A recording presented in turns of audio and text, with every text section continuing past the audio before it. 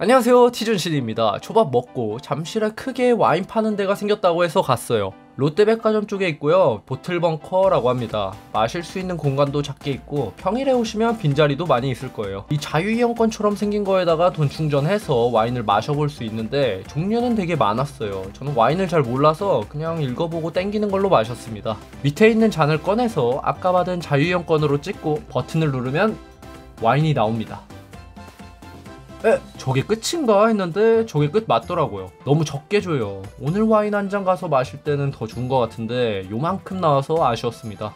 자리에 와서 마셨고 한세잔 정도 여러 개 마셔봤어요. 다 마신 잔은 여기에 이렇게 놓으시면 돼요. 마시고 둘러보니까 와인도 많고 미니어처 술 이거 집 꾸밀 때 많이 사용하던데 이것도 종류별로 되게 많아요. 와인이 진짜 많았는데 이탈리아, 스페인, 뉴질랜드 종류별로 있더라고요. 또 보드카랑 위스키도 따로 안쪽에서 팔고 있더라고요. 그냥 구경 다녀왔는데 뭐 잠실에서 데이트하다가 할 거 없다 하시면 한 번쯤 들려보는 것도 나쁘지 않을 것 같은 생각입니다. 그럼 여기는 잠실에 있는 보틀 벙커였고요. 다음 먹 거리는 여기입니다.